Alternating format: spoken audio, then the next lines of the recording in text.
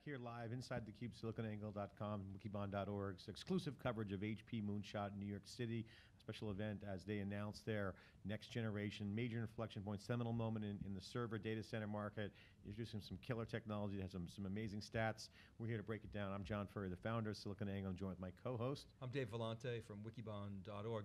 Laurent Clerc is in the house uh, on the Cube. He's with uh, CGG. He's the vice president of, of IT at CGG. Welcome to the Cube.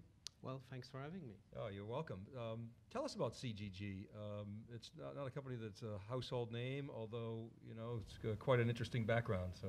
Yes, indeed. Uh, CGG is a geophysical contractor. So what we do basically is we acquire, process, and deliver images of the underground.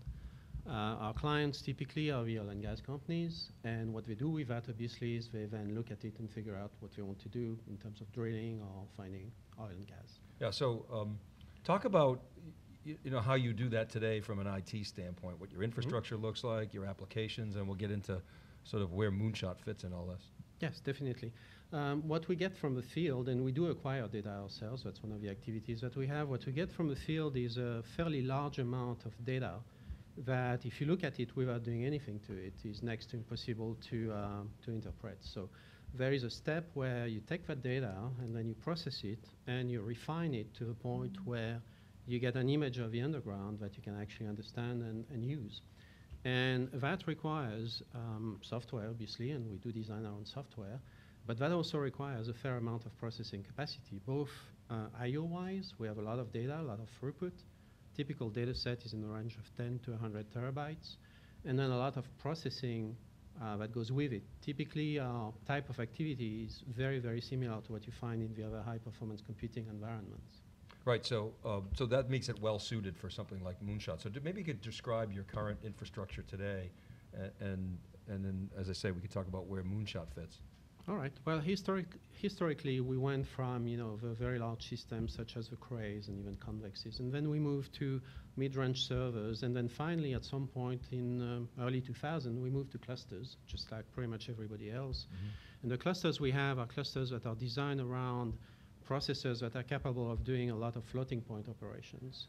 And the network that feeds the uh, data to, to those nodes is designed around typically uh, 10 gig today 40 gig for the uh, connection between the switches. So it's a, it's a pretty um, it's a pretty large set of these. We have thousands of servers, literally. We have a number of data sets, uh, data, data sites.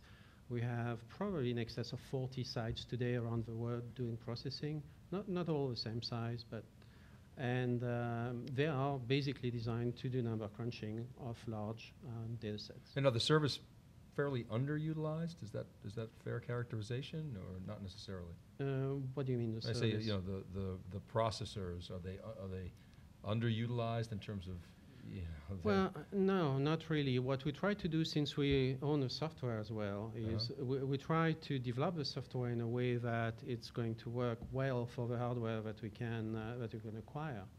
And actually, that's where the moonshot is a significant change for us. Because, yeah, how so? To explain that. Well, typically up until now, you were bound by the design of the hardware systems as they are. There, there is some flexibility, obviously. You, you, can change some components. You have a wide range of CPUs. But basically, it's a box with a CPU and then some cards connected to the box. And you had to design your software around those constraints.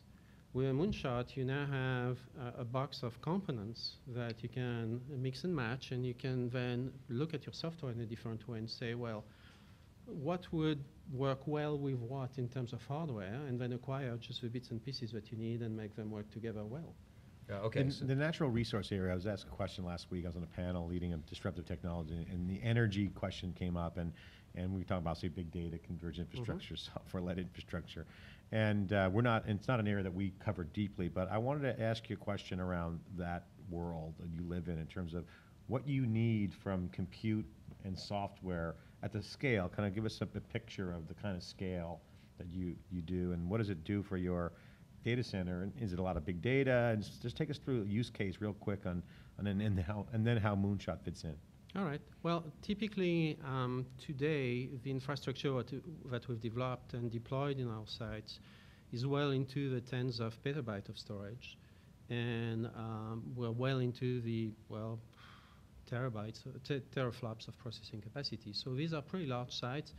They are not as large as what you would find in the very large web server farms, for example, but they are the next step behind in terms of size and, and, and complexity. But they are not so much dedicated to transaction work like you know, most of the very large sites. They are really dedicated to number crunching.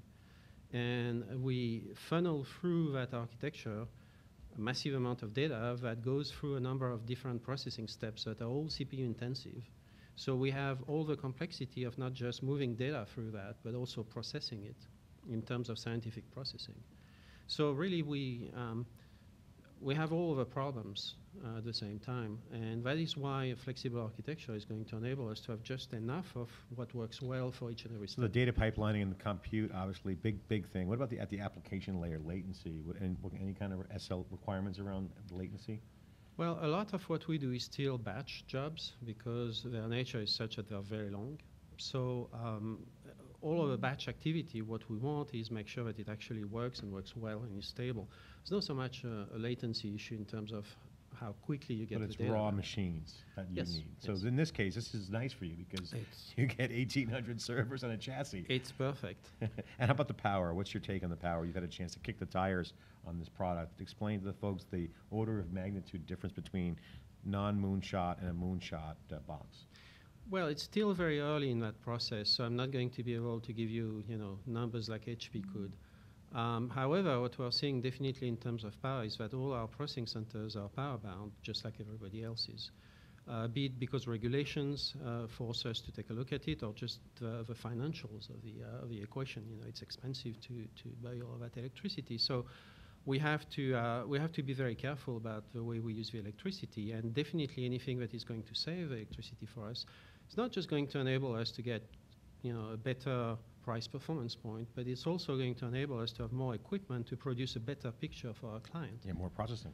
Yeah, because at the end of the day, it's all about our clients want to be able to see something, you know? So what we need to do is produce the best quality data that we can so that they can then uh, see what they want to see in there. How about um, just in terms of your uh, supplier relationships? Obviously, you're an HP customer. Mhm. Um, are you primarily an HP shop? Do you have a diversity of, of, of suppliers? We have a diversity of suppliers. Um, we do work with the suppliers depending on the technology that they bring to the table. And HP with the uh, Moonshot is bringing a technology that's definitely um, very interesting. So it would be, uh, and we, we couldn't afford to miss that opportunity. So we're working with them on that definitely. Yeah, okay, so it's not, it's not a case of, you're okay, we're an HP shop, anything HP comes out with, we, No, we buy. It's no. more, more opportunistic with regard to the technology that's coming. And the applications that you've, you've cited will, will, they're, they're HPC-like, if I Mhm. can say that, right? So they lend themselves well to, to this type of architecture. Um, do you see s- things like Moonshot um, applying to more traditional IT?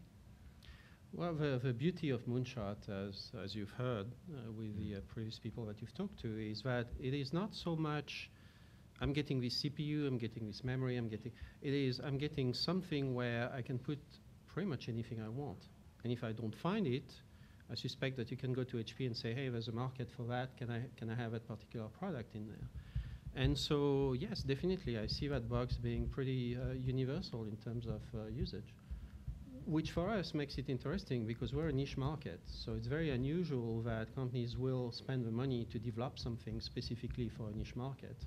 So if we can piggyback on a much broader market to get the things we need, that's even better for us. You're, you're obviously, uh, at least in part, a data-driven organization. Mhm. Um, Are you having conversations internally a- about um, different ways of, of monetizing that data, and, and, and how is that changing over time?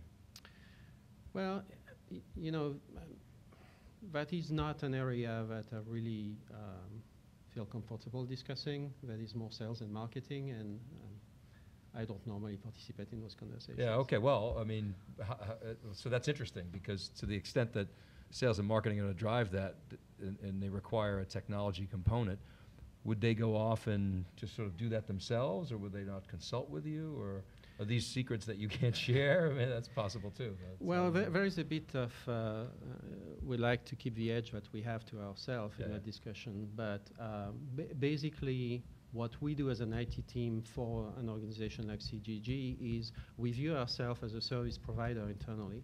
So what we do is we listen to the problem that they have, and then we come with solutions for them, and we tell them, here is what we found, here is what we think works best, and then it's up to the uh, business managers to decide what makes sense for them in terms of uh, what they sell. From an application development standpoint, how um, do you see that changing the processes or the way in which they interact with the infrastructure? How do you see that changing over time as a result of things like Moonshot?